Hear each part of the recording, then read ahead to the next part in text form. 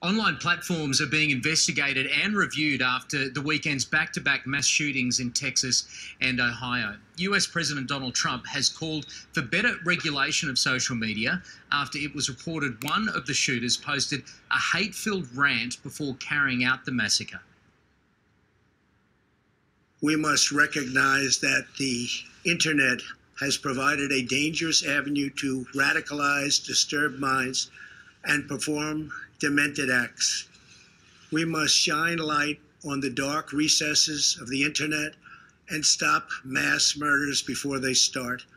So, what needs to change and what will actually make a difference? Here with more as advisor and researcher on digital family lifestyle, Dr. Joanne Orlando. Welcome back, Jo. Hi, Thank you. Thanks for coming in today. Now, the shooter allegedly posted on a site which is an online community with very few restrictions. Um, it allows people to post anonymously.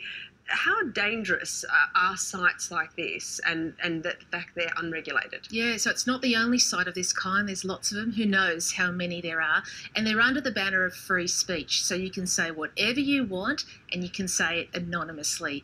So what it draws to that site are people who don't have mainstream ideas, who have more extreme ideas, and it's a place for them to start airing those ideas. So this site has got a lot of white supremacy kind of ideas, extreme ideas about gender, children, different religions. And because it's anonymous, they really just go to town and say whatever they want.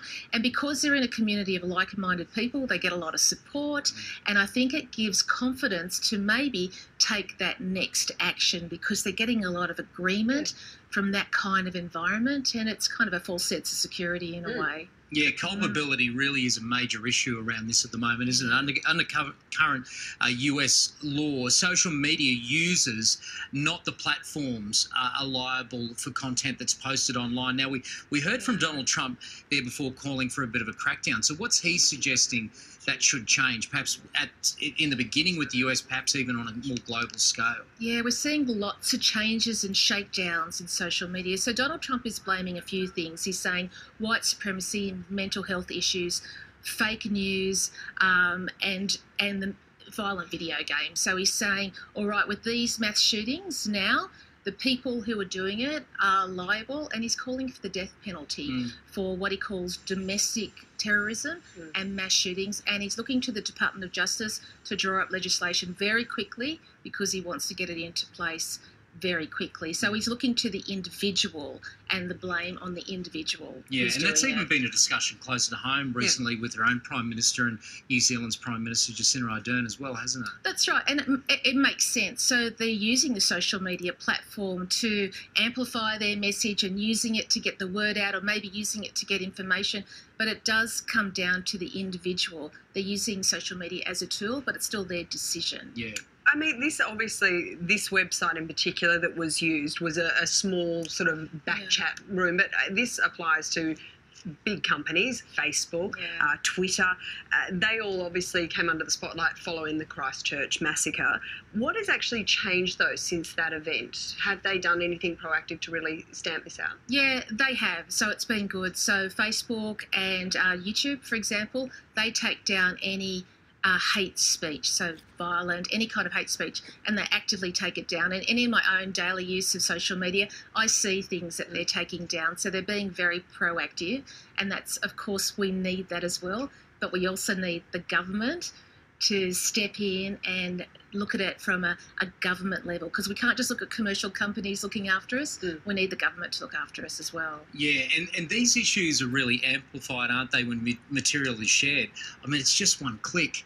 It's so fast, sometimes people have a split second to sometimes think about it. So, is there any way to, to stop this cyber cycle, do you think? Yeah, there is. We get shocked by the footage we see, and our automatic reaction is, oh, I have to show my husband, I have to show someone. So we're seeing this kind of footage come through, or this kind of content come through.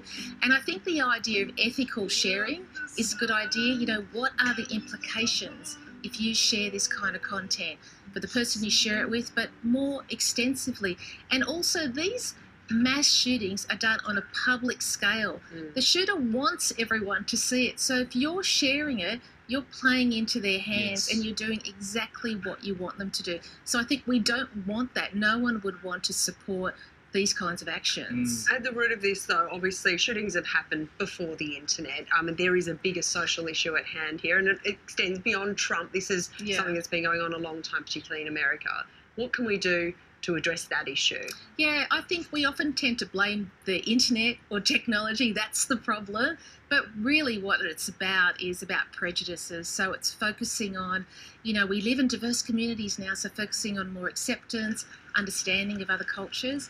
And I think that culture is just one aspect of people. There are many aspects to who we are, Mm. uh, and focusing on, on more tolerance in that way. Yeah, it's certainly a space worth scrutinising, and we thank you for your insight today, Jo. Good to see yeah, you. thanks, thanks. very much. All right, coming up, so